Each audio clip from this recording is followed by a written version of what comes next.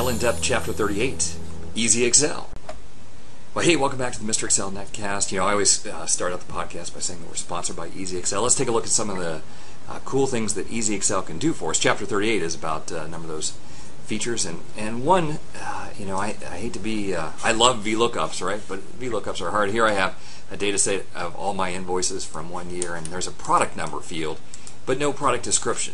And I found this other worksheet that has product number and maps it to a description, unit price, supplier ID, and that, that whole bit. So I need to join these up. I need to do VLOOKUPs. But Easy-XL makes it easy to do that. So we go to the Easy-XL tab, and we're going to merge sheets. And we're going to merge this with the product sheet. Click Select. And based on product number, we're going to choose all of these fields from the secondary sheet. Click, click Finished.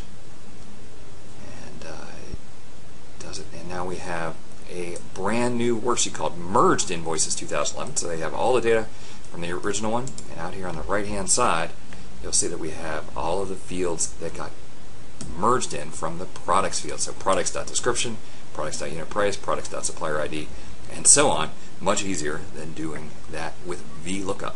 That's just one of the uh, 50 things that Easy-XL does for us stopping by. We'll see you next time for another netcast from Mr. Excel.